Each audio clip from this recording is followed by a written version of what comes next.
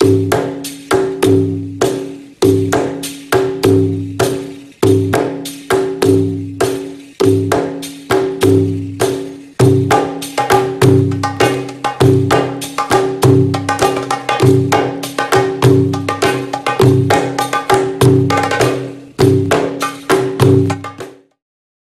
my name's Asif Q.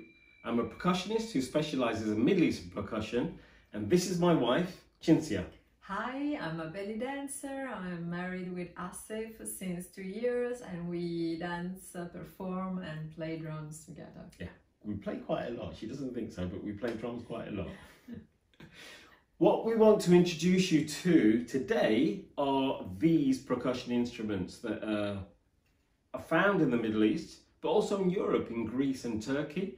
In actual fact, in Turkey, um, the first documented use of these in dance dates back to the 15th century. And the actual first documented use of these in this form with our thumb and middle finger dates back to 500 AD and is also thought to originate from uh, Asia. Okay, and I think the the um, the origins of castanets is in these. Okay, the castanets in Spain. So it's used in many many countries around the world. How do we use these finger cymbals, sagats or zils? Um, there's two ways that we can use them. Cinzia generally uses patterns Yeah. in, in while she's dancing. Yes, so we use them in uh, belly dancing, especially in the what is called tribal belly dance. And uh, so I'm a, a global caravan dancer, and uh, we complement our dance uh, with the, the use of zills. And also, obviously, originally they used to form rhythm. Okay, and uh, we're going to show you very simply how you can form rhythm with these by making two different sounds. And so we're going to use a rhythm called the Maksum. It's a 4-4 rhythm. And if you don't know what a Maksum is and you, you, you haven't seen my other videos, please refer back to the other videos on the playlist in terms of 4-4 and the other rhythms. And it will show you how to play those rhythms and you can tran transfer those skills onto this. Okay? So, how do we make the two basic sounds that you would use like on the Duff, for example? It's a doom and a tech.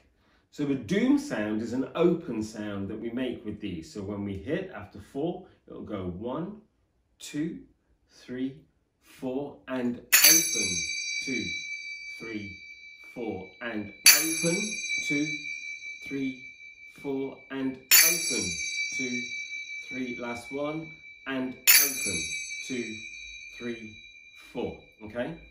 So you can see that it, that open sound has a resonance to it, okay? And you can also see where these cymbals are placed on the thumb and on the middle finger, okay? We use elastic, right? Uh, it's very easy to get on and off. And there's a there's a thing that happens with your fingers when you play these, and it's called blue fingers. Don't worry about the blue fingers. Is what happens when you play these sagats. So uh, don't worry too much. So the other sound that we're going to make is the tech sound, which is a closed sound. Okay, I'm going to show you as an example after four. So it'll go one, two, three, four. And it's a closed sound. You see there's no resonance. You can hear there's no resonance after this. So it's literally you're just closing them together. So after four, one, two, three, four, and okay, and that's it. Two basic sounds we can play and form rhythm with. Okay.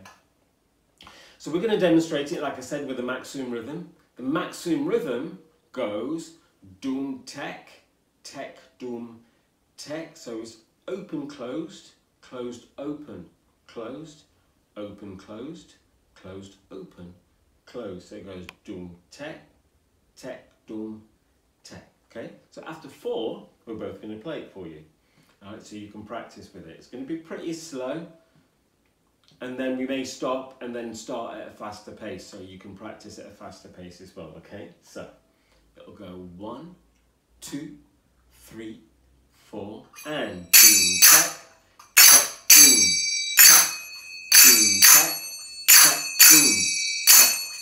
open closed. Closed open. Closed, open, closed, closed, open, closed, boom, tap, tap, boom, tap, boom, tap, tap, boom, tap, boom, tap, tap, boom.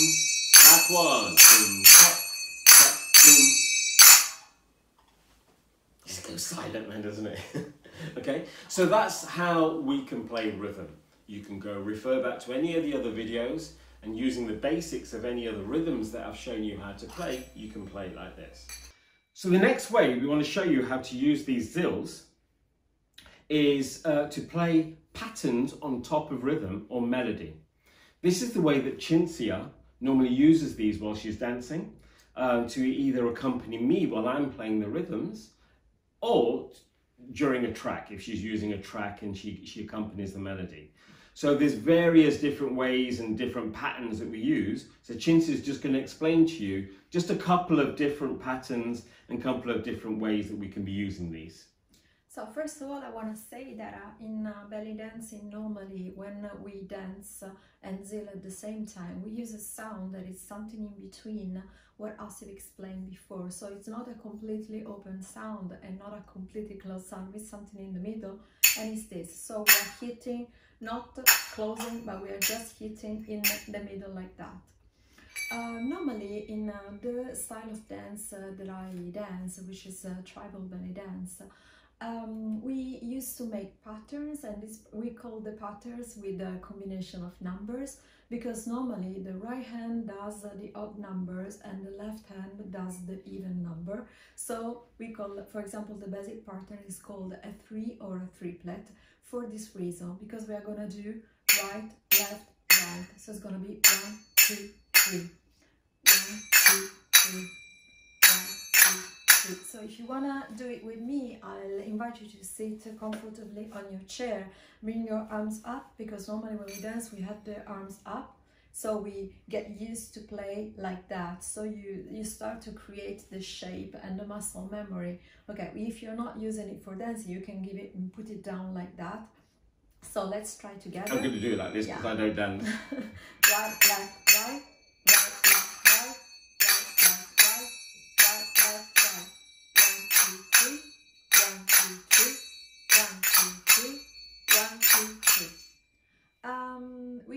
it up. Uh, so at the beginning, I suggest uh, to Absolutely. do some practice and try to have like a um, a, a, constant rhythm while you're playing because it will tend naturally to speed up but the, the most tricky thing is try to keep the same rhythm all the time. Hence, I'm going to move off these and let Cinzia demonstrate and I'm going to go on my drum. Yeah.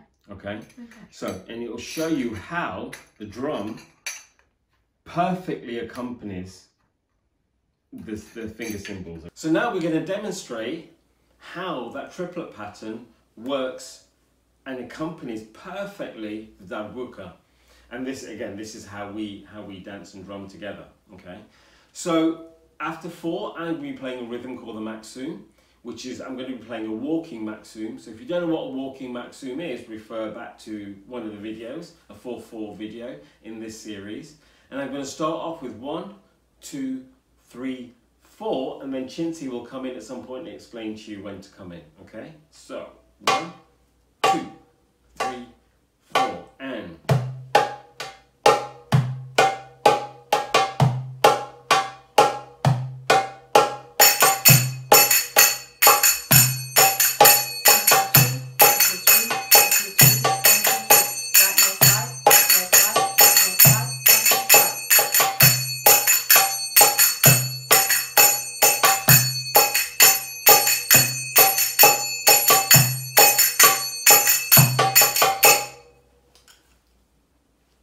it sounds amazing with the drum and the zills, doesn't it? Do you know what I mean? So, so you, you may have noticed that when we start, the rhythm starts on number three of the zills. Okay? For example, should we just demonstrate one rhythm after four? And if you want to shout out the numbers, it'll go one, two, three, four. One, two, three. Can you see how that works? Do it one more time. So one, two, three, four.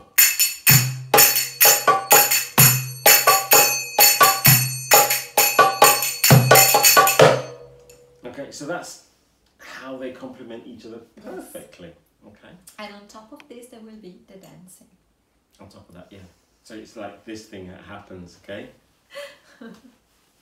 yes, two things at once. So it's really difficult. I can't even think of doing that at the moment. Do you know what I mean? So there's another way that you can play the zills and you can combine these patterns. And so Chintz is just going to explain that to you now. Yeah, so uh, another way to play zills, uh, another basic pattern that is very interesting to learn is what we call the alternating. So it's an alternation on right and left and it's, it's simply like that. It's one, two, one, two, one, two, one, two, one, two, one, two, one, two, one, two, right, left, left, like that. And with the, the triplet that we have seen before and uh, this other basic pattern, we can put them together and for example made a simple pattern that is really nice which is called the 337 so I'm gonna make two triplet and uh, six alternate and one single. So it's gonna be one two three one two three one two three four five six seven. And I start again. One two three one two three one two three four five six seven. One two three one two three. Carry that on. I'm gonna put the rhythm on there. Seven. One two three. And play an ayub and a falahi as an ending Seven.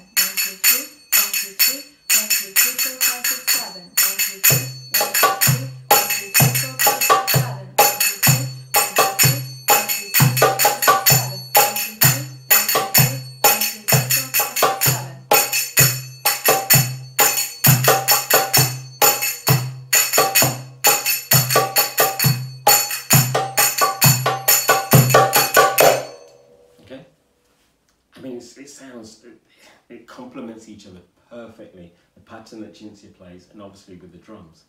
Um, so you have two patterns there that you can be practicing right? So you have the triplet pattern.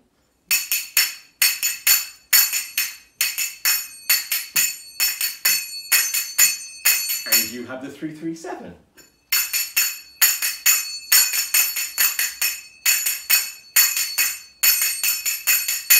so what we're going to demonstrate now So we're gonna put together these uh, two patterns with the, the two different rhythms that Asif was playing. So I'm gonna listen to him, he's gonna play a rhythm and I'll try to complement him with the, the zills. She always does. So I'm going to be playing. Start off with the Maksum rhythm, okay, which we play the the triplets to. Yeah. Okay. We'll watch you guys will play the triplets to. I'm going to do these in sets of four, then four times, so we follow a pattern, and you'll hear me at the end of one of the Maksum endings play it really loud. And at that point, we will change to the Ayub with the Falahi ending, and you will do the 337. Um, Yeah. yeah? Okay, so we're going to go really slowly and then we'll speed up a little bit as we go along, okay? So after four goes one,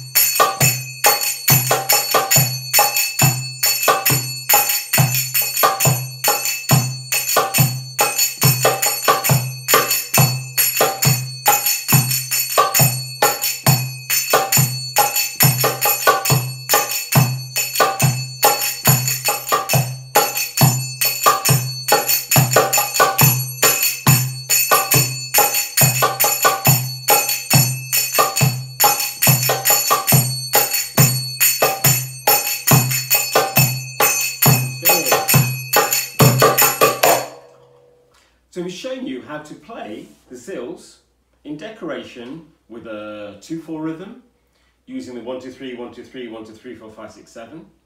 We've shown you how to do it on a 4 count rhythm, which is the triplet 1, 2, 3, 1, 2, 3, 1, 2, 3, 1, 2, 3. And it's not normally done, but we do. We break the rules. We like to break the rules. We play a pattern that Cinzia has, has come up with on a 8 count rhythm. So basically on an 8 count rhythm, I'm gonna use the 373 but uh, I repeat it twice, uh, but the second time there will be the last triplet missing. So it's gonna sound like that. 1, 2, 3, 1, 2, 3, 4, 5, 6, 7, 1, 2, 3, 1, 2, 3, 1, 2, 3, 4, 5, 6, 7. And there is a pause. And I repeat it again. So it's gonna be 1, 2, 3, 1, 2, 3, 4, 5, 6,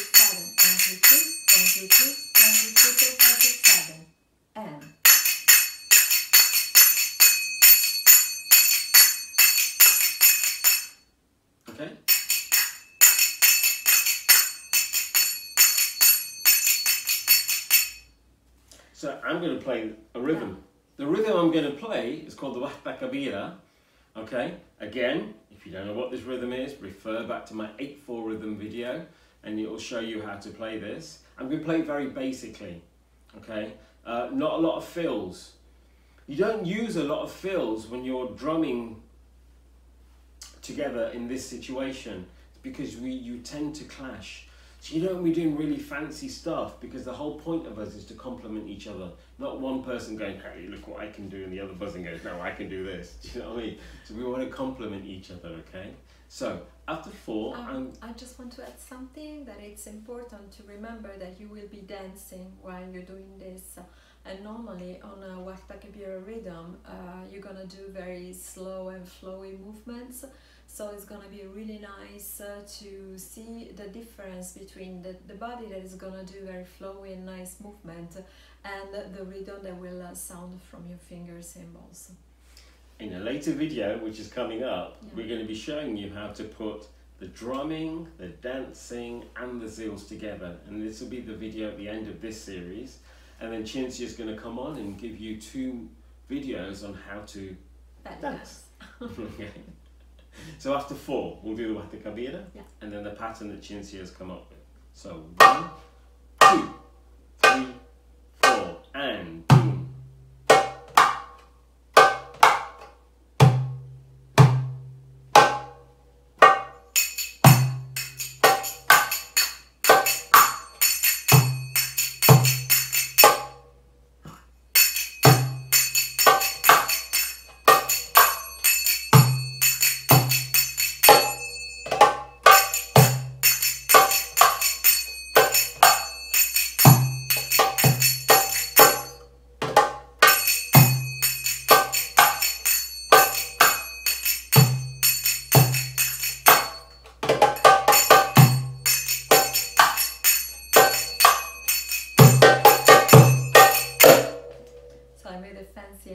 because I knew we were finishing. Connected. okay. So this is how to play the basics of the zills, yeah? As Cinzia explained, there's many different patterns you can do. There's many different variations you can do playing the rhythm with the finger zills or playing a pattern with with Sagats. It's many, many different things you can do. Okay, so this is the basics to get you into it. And if you want to know any more about this, just please get in contact with us. Yes. Okay.